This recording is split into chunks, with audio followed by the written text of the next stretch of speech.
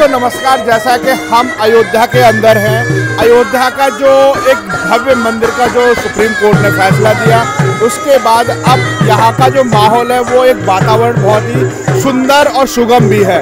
और जैसा कि यहाँ की जो परंपरा चली आई है, जो राम का विवाह आज भी होता है, कि जो जैसे शादी हुई थी, उसी रीति रिवाज के माध्यम से।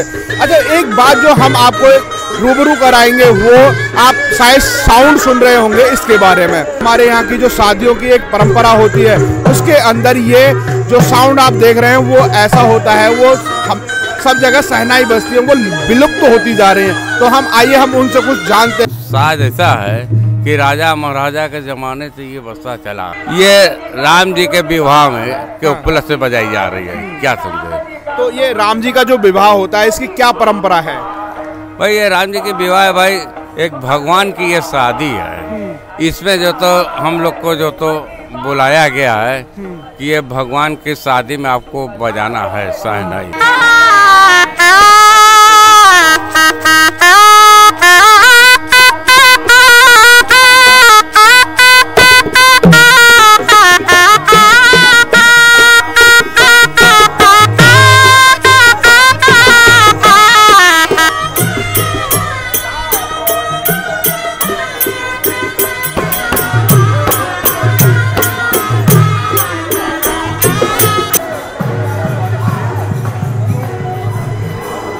dapat